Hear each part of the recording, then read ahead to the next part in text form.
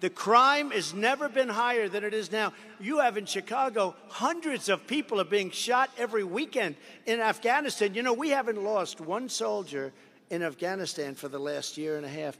In Chicago, they have 188 people shot over a weekend, many of whom die. That's worse than any war zone anywhere in the world. Chicago and New York, what's happening in New York, the crime in New York.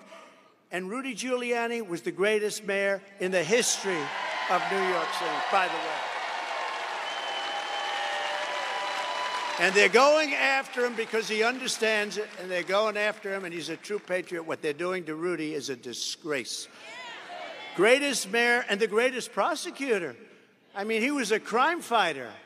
He was a crime fighter, but this was the greatest mayor. And you know, if I would have said that five years ago, 10 years ago, it wouldn't have meant as much. Now you realize what having a great mayor is all about. Because when you look at what the hell is happening to our cities run by Democrats, all run by Democrats.